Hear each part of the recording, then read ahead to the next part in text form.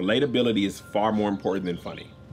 Ah. If you feel, if you relate to something, or if you have the desire to com- to comment, Right. it's way more important than if you laughed. Even if you're pissed. Is that right? That's why I like I like pumpkin pie, and I know black people it's like taboo.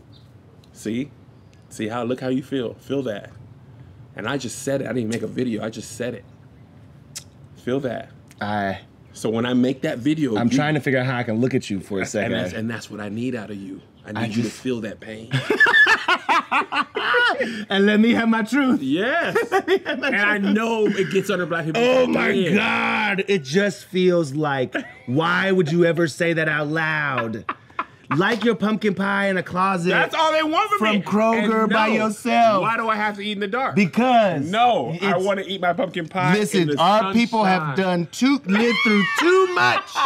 Rosa Parks, Harriet Tubman would roll over in her grave.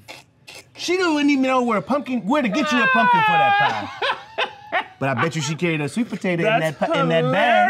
Hilarious. I'm telling you right now. See how you feel? Oh my God. You have to comment because I got you. Yeah, you did. Yeah, I got you. You did.